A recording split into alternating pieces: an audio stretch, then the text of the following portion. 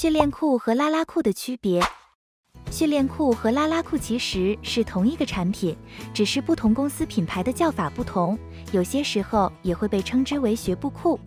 这类产品比较适合刚刚爬行或者是刚刚开始学习走路的小宝宝使用。这个时期的宝宝比较活泼好动，而训练裤不会让宝宝的腰部受到太大束缚，活动起来比较自在一些。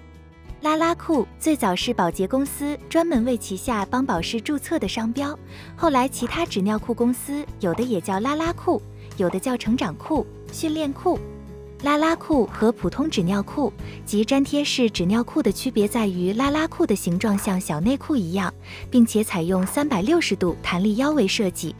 更加方便穿脱，一拉就穿上，两边一撕就脱下，无论宝宝平躺还是站立都可以方便更换。